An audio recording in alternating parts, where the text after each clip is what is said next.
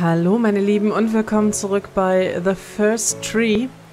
Ähm, wie immer sind einige Tage ins Land gegangen und ich musste tatsächlich ein ganzes Stück nochmal bis hierhin spielen.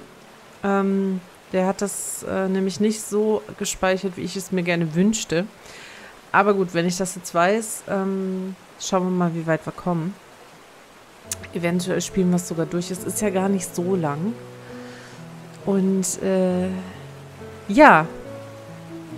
Ich glaube, wir springen hier einfach mal dezent runter. Das ist eine neue Welt, würde ich eigentlich schon sagen. Wir verlassen jetzt scheinbar die grünen, saftigen Ebenen und kommen in so eine steinige Landschaft.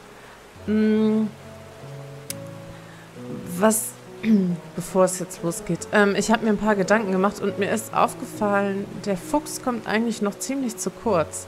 Also wir lernen den, den Mann komplett kennen. Wir buddeln ja auch immer Erinnerungen aus.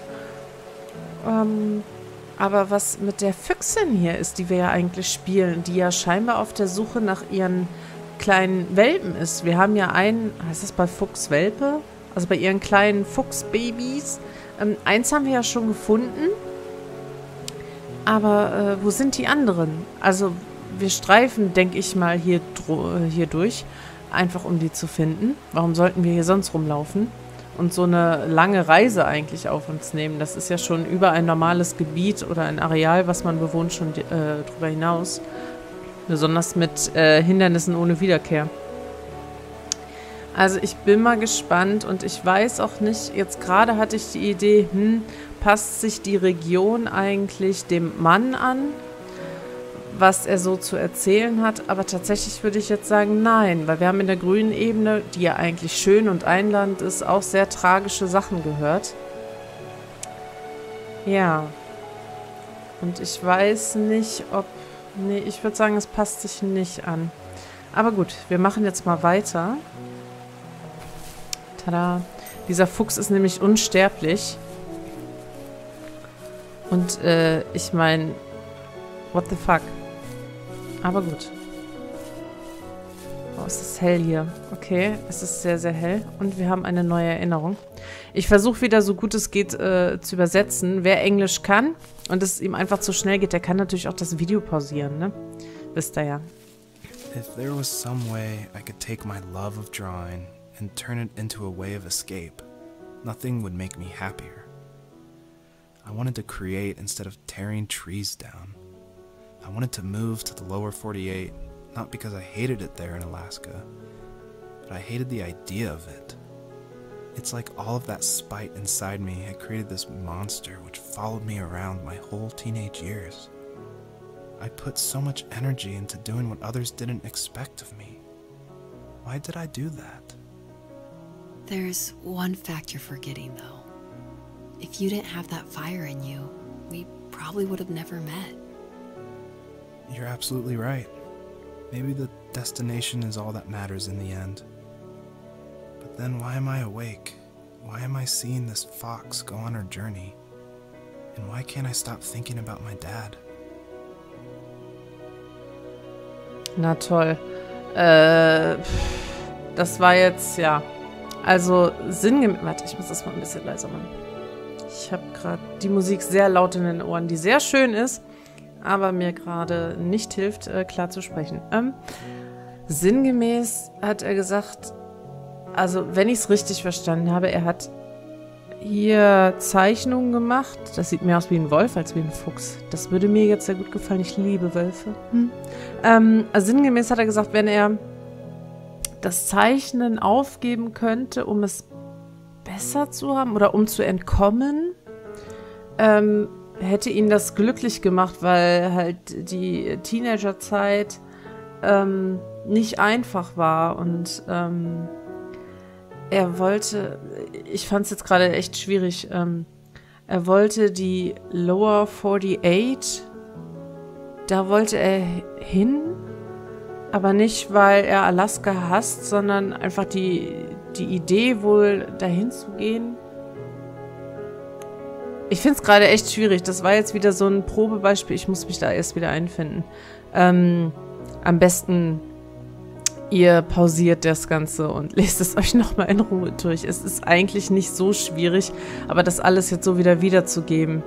Ähm, also ich interpretiere das jetzt so, er hätte das Zeichnen aufgegeben, wenn es äh, die Möglichkeit gegeben hätte, daraus äh, ein besseres Leben gehabt zu haben. So sinngemäß.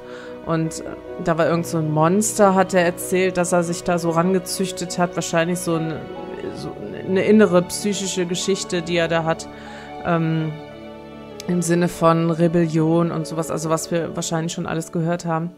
Und ähm, sie ähm, hat ihm aber äh, entgegengewirkt und hat gesagt, wenn du nicht so wärst, wie du bist, hätten wir uns nie kennengelernt. Und da hat er dann letztlich auch zugestimmt. Aber ihn verwundert ist, warum er immer an, von, von der Füchsin träumt und warum er immer an seinen Vater denken muss. Also irgendwas ist da im Busch. Ist da oben was? Nee. So, ich hoffe, die nächsten Erinnerungen werden leichter.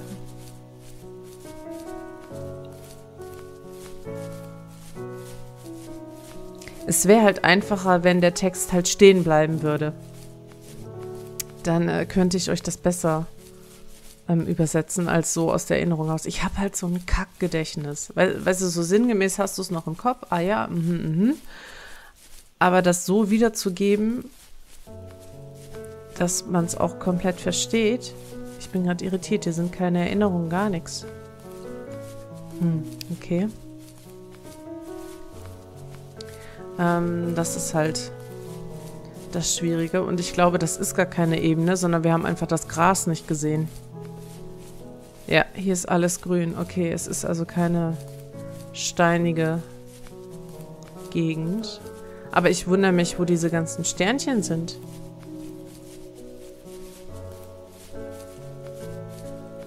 Ich habe dann immer Angst, irgendwo hinzugehen und dann was zu verpassen da. Was? Oh. Ach so.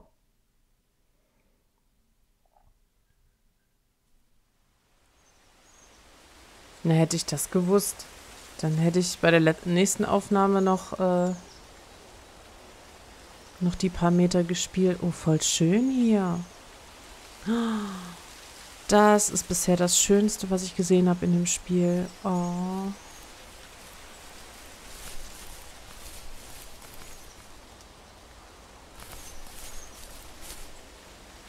Na toll. Ähm, die Sterne führen uns hierhin, aber...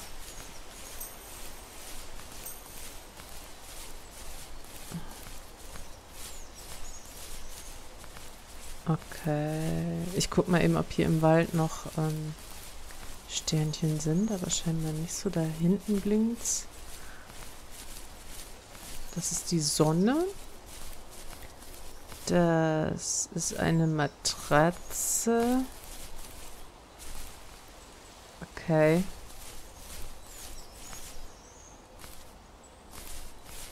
Oh, seht ihr das da? Direkt äh, geradeaus, was so nach oben geht.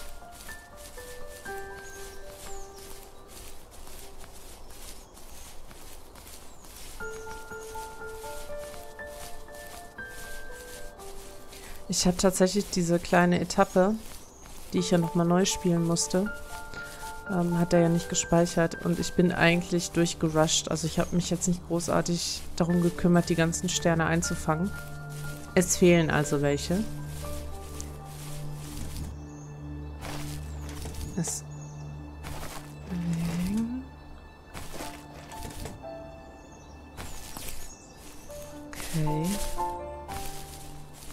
Trotzdem möchte ich hier welche einfangen.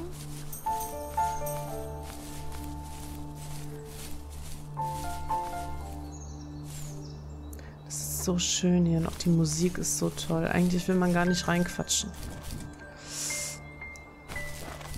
Das hat geklappt. Oh Gott. Ich bin für Jump'n'Runs nicht gemacht. Also bin ich schon echt happy, dass das hier halbwegs funktioniert.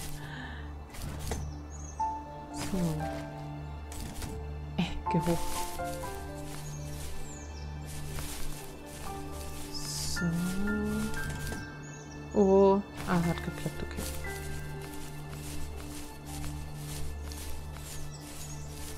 Okay. Da ist nichts, da ist... Hä?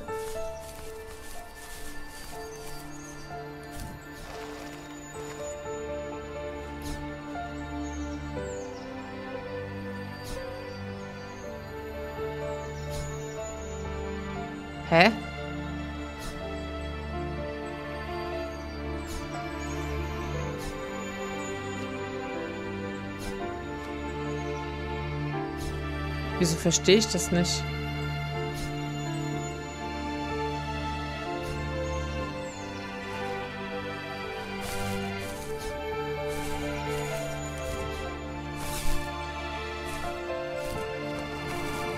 Ah. Ähm. Okay, jetzt leuchtet der. Okay, muss ich jetzt Steine zum Leuchten bringen? Oh. Ey, das ist eine Höhe, das hält doch keiner aus. Habe ich jetzt letztens wieder erleben müssen, ähm, dass ich einen sehr interessanten Job habe und für Fotos manchmal ganz bescheuerte Sachen mache. und ich dann wieder gemerkt habe, dass ich leider nicht mehr 14 bin und ich tatsächlich anfange, Höhenangst zu kriegen, aber wirklich Angst. Nicht, dass man denkt, oh, jetzt ist es hoch, sondern wirklich Angst. Und da muss ich dringend was gegen tun, weil ich es. Eigentlich möchte ich gerne auf hohe Höhen und da äh, die Aussicht genießen. Ich finde das immer wunderschön in Videos und auf Bildern. Und wenn ich das selber nicht kann, dann ist das echt schade. Muss ich mal ein bisschen gegenwirken. Okay, hier ist ein Haus. Wieder ein Erinnerungsbruchstück. Ist da was drin? Nee. Also da ist... Da... Müll. Müll ist da drin. Okay, wir haben eine weitere Erinnerung. Wie gesagt, äh, pausiert am besten. On our property, there were old abandoned pieces of a shed and car long left unused. I used to ask him all the time who those people were that left all this junk, and I'm sure he got so tired of hearing it that he made up some elaborate stories how a brown bear ate them and haunted the woods afterwards. What's funny is I think it made those people seem more real. Growing up thinking they were still hanging out like they couldn't say goodbye. I used to tell my friends how I could swear I saw spirits move near the water, and that always freaked them out. I guess it didn't bother me, because the way I saw it, they were normal people with old cars and sheds, just trying to figure out how to survive and be happy in the middle of nowhere. It was a cool thought that they didn't want to leave, but you know, I was a weird kid. Well, you had good company since those ghosts like living in a place where they were brutally devoured.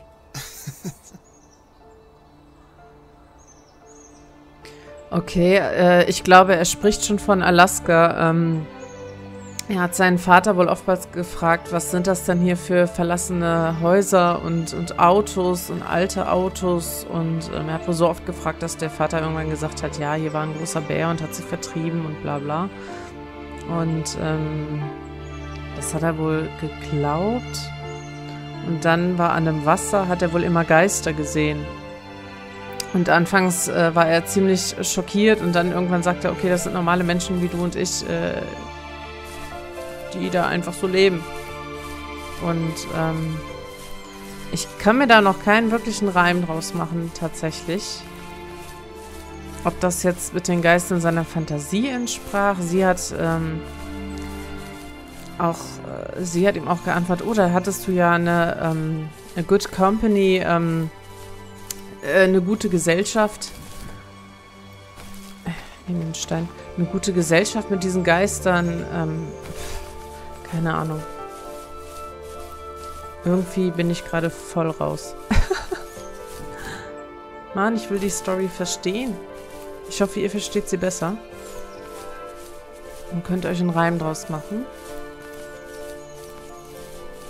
Es kann natürlich auch sein, dass wir die nur nicht richtig verstehen, weil wir vielleicht irgendwas übersehen haben.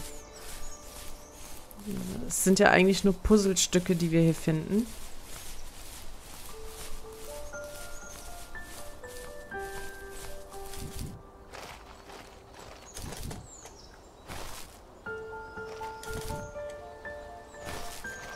Oh Gott. Yes! Okay. Boah, ich liebe diesen Wald hier.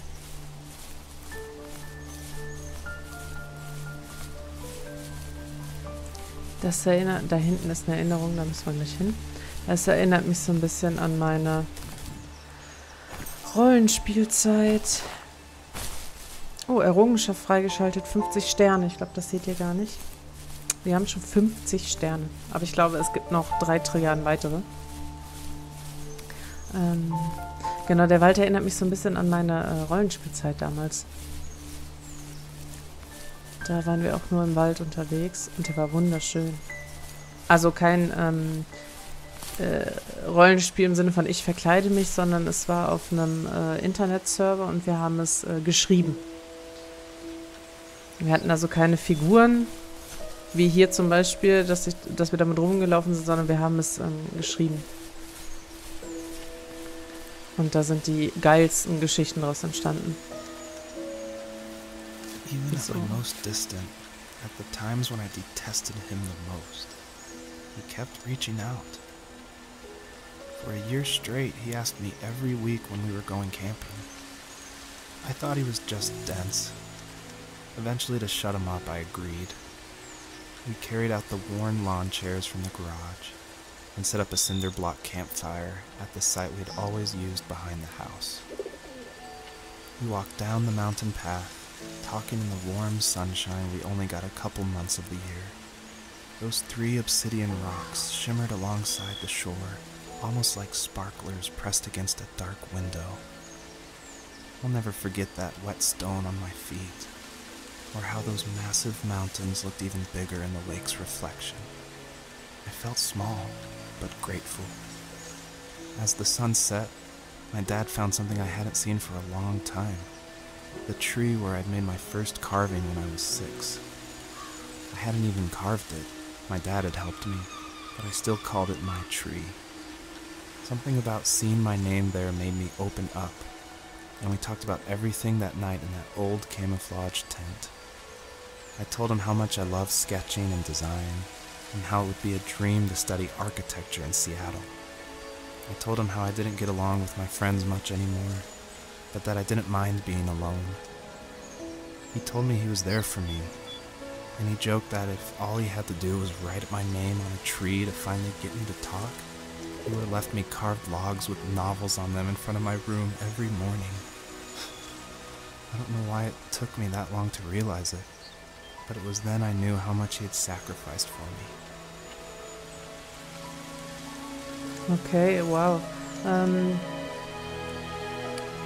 im, Im Grunde ähm, ist der Tenor, dass der Vater ihn niemals aufgegeben hat. Ähm, er hat wohl, also der Vater hat ihn öfters gefragt, ob sie mal campen gehen sollten und er als Teenager hatte einfach irgendwann keinen Bock mehr und hat einfach äh, zugesagt, damit der Vater Ruhe gibt. Und dann sind sie da durch den Wald gelaufen und äh, durch die Natur und tatsächlich war es wohl atemberaubend schön und er hat sich ganz klein äh, gefühlt, aber ähm, glücklich, dankbar.